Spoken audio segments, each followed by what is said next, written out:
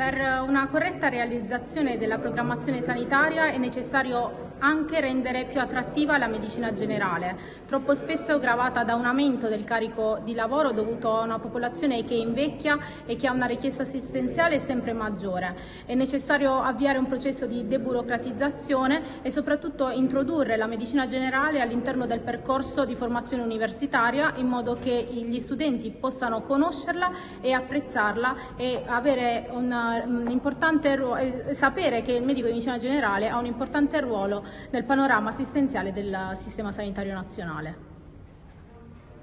Auspichiamo un'accoglienza positiva alla richiesta di un dialogo costruttivo e duraturo con le forze politiche per trovare in sinergia una soluzione all'accesso alla facoltà di medicina che sia equo, trasparente e meritocratico. Il, la corretta programmazione è il fulcro cardine per tutelare la nostra categoria e soprattutto il sistema sanitario nazionale.